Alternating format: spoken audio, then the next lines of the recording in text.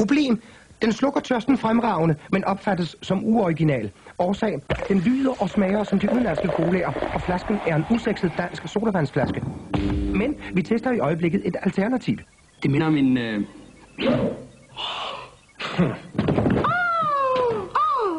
Hvem er det, der har stået model? Er det dig?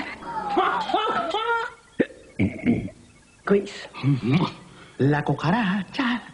Ej. Konklusion. Flasken fremkalder spændende reaktioner. Alligevel er ideen opgivet til fordel for en ny.